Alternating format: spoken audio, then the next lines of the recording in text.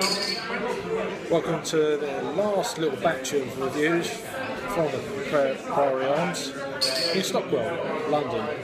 Well, I've got a beer from the Fourpure Brewing Company and it's their oatmeal stout. It's coming in at 5.1% ABV. It's getting a bit loud now, everyone's just come in, it's shutting up soon.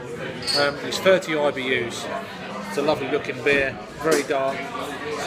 just, well, it's about one finger head. So, I'm in London drinking a stout where it was originally first produced. So, let's get an aroma on this beer.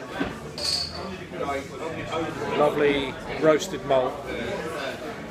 Yeah, rich roasted malt.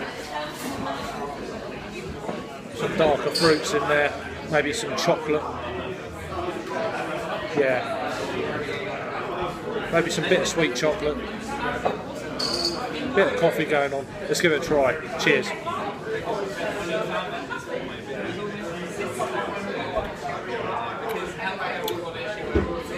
It's very, this is on keg. I've, I've, I've never had this on keg before. I've had it in cans twice. It's very kind of like dark fruits, plum,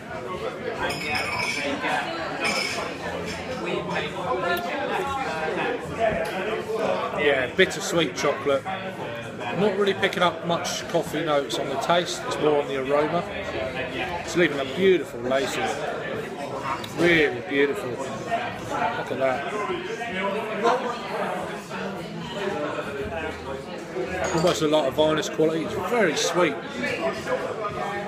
Very, very kind of sweet almost like cherries, kind of chocolate cherry kind of bar of chocolate.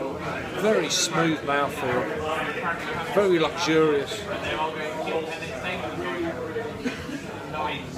Look at that. Keep going on about it, but that is like wow. Um, it's not how I remember the beer, but this is a absolutely fantastic.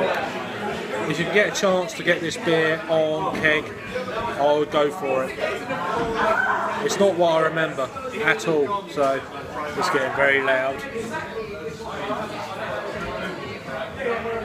Anyway, as for a rating, one more little taste, it's getting very dark now. We'll turn the lights off. That's very nice.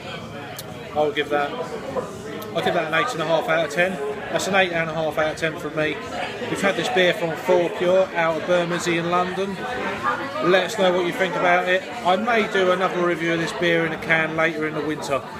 Anyway, cheers for watching. And I'll see you on the next review. Cheers.